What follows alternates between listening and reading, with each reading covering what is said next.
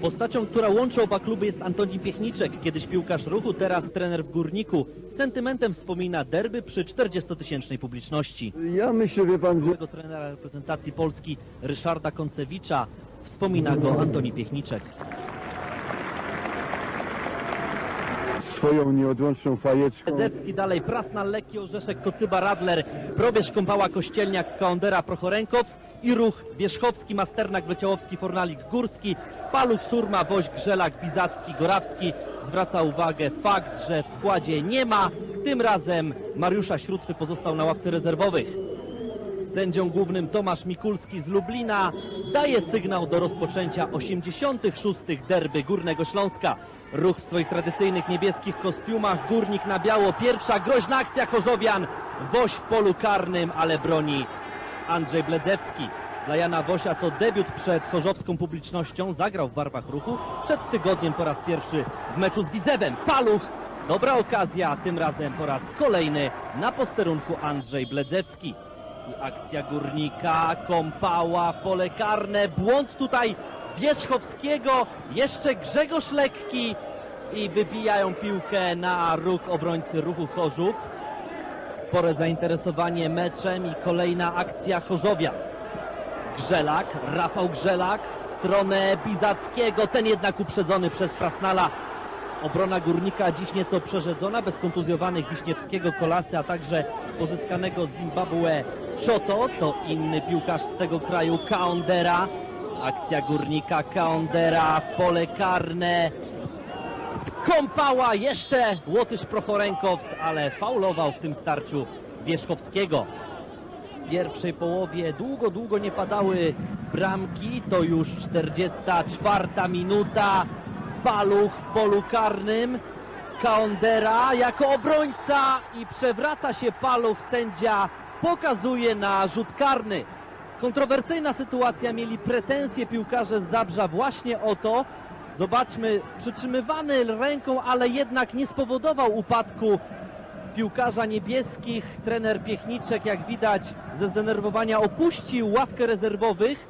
Zatem rzut karny Bledzewski czy Woś, Jan Woś i w swoim debiucie przed chorzowską publicznością doświadczony pomocnik strzela gola na 1 do 0 dla ruchu Chorzów. Jesienią Chorzowianie przegrali w Zabrzu aż 1 do 4. Teraz bardzo, bardzo chcieli się zrewanżować. Bledzewski wyczuł intencje strzelca, ale Woś precyzyjnie umieścił piłkę w siatce. Do przerwy zatem 1 do 0. Puszczony na boisko Piotr Gierczak zamiast Kaondery. To zmiana w Górniku i najciekawsze fragmenty drugiej połowy. Rusza Gorawski, Damian Gorawski obok bramki Bledzewskiego. Gorawski to ten, który zastąpił w składzie, a w zasadzie wygryzł z pierwszego składu doświad- doświadczonego Mariusza Śrótwę. Marcin Molek, ten, który w spotkaniu derbowym przed dwoma laty doznał złamania nogi. Powoli, powoli już trenuje, być może niedługo wróci do gry. I akcja Górnika. Kąpała, Gierczak skakał do piłki. Górski wybija jednak piłkę na róg. Rzutu rożnego Michał Probierz, zamieszanie w polu karnym, Gierczak i 1 do 1.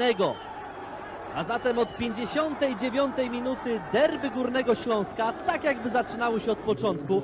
Wierzchowski przepuścił piłkę między nogami, ale sporo chaosu było w polu karnym. Kibice Górnika jeszcze nie przestali cieszyć się z tej bramki Piotra Gierczaka, kiedy to Damian Gorawski oddaje precyzyjny strzał w stronę bramki Bledzewskiego, a zatem minutę po tym jak Górnik strzelił gola dającego remis, Chorzowianie ponownie prowadzą 2 do 1. Gorawski no, pokazuje, że nieprzypadkowe było to, że został wstawiony w pierwszym składzie.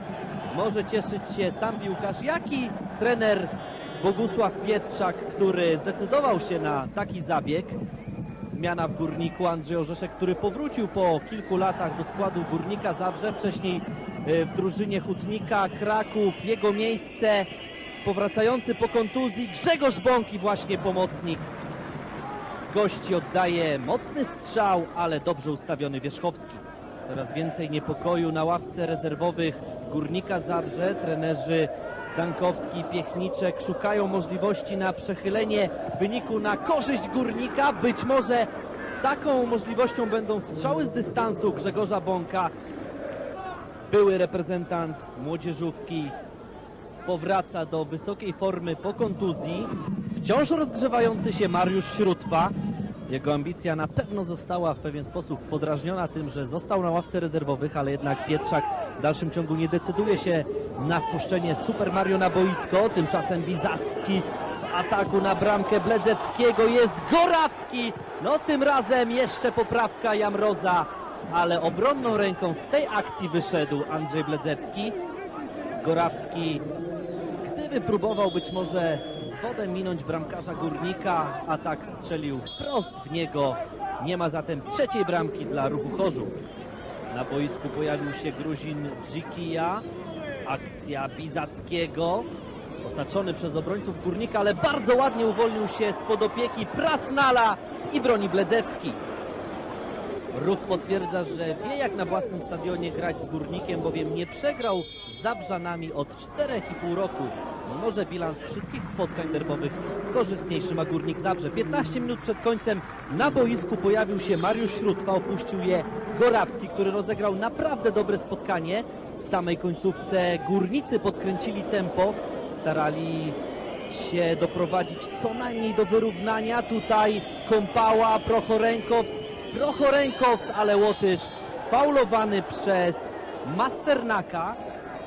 Ta sytuacja miała miejsce wyraźnie przed polem karnym, zatem rzut wolny dla gości z Zabrza. Grzegorz Bąk, wysoko jednak nad bramką Wierzchowskiego. Trener Piechniczek pokazuje, jak Bąk powinien dokładniej dogrywać piłkę. Ponownie Zabrzanie. Jest Szemoński, który chwilę wcześniej wszedł na boisko Kąpała. Szemoński minimalnie obok bramki ruchu Chorzów. Zabrzanie w końcówce byli stroną przeważającą. To 88 minuta. Dzikija, podanie do Bizackiego. Bizacki z prawej strony rusza Krzysztof Bizacki. Znalazł śrótwę Mariusz Śrótwa i 3 do 1 dla ruchu Chorzów. A więc ma powody do satysfakcji Śrótwa. Tym bardziej, że jest to jego 80. gol w historii występów tego zawodnika w pierwszej lidze. Także zadowolony Bogusław Pietrzak. No pokerowa zagrywka przed tym spotkaniem tego trenera. Dobrze grał Gorawski, a także swoje 5 minut po wejściu miał Śrótwa. 90 minuta meczu. Wydaje się, że piłkę ręką odbił Masternak. Nie jest tego jednak pewien sędzia Mikulski. Zatem konsultacja ze swoim asystentem i wyraźnie asystent stwierdził, że ręką odbił piłkę gracz Chorzowa, zatem Mikulski dyktuje drugi w tym spotkaniu rzut karny, broni Wierzchowski, ale dobitka Grzegorza Bąka pewna, a zatem Zabrzanie zmniejszają rozmiary porażki wynikiem 3 do 2 dla ruchu Chorzów zakończyły się 86. derby Górnego Śląska. No myślę, debiut mi się udał. Przed publicznością zdobyłem bramkę, wygraliśmy mecz. O tym marzyłem właśnie. Ale mecz z, kategor- z kategorii tych naprawdę bardzo trudnych, przyzna to. No i tak, Górnik naprawdę dzisiaj bardzo ambitnie grał. Ale myślę, że było niezłe widowisko i kibice powinni być zadowoleni.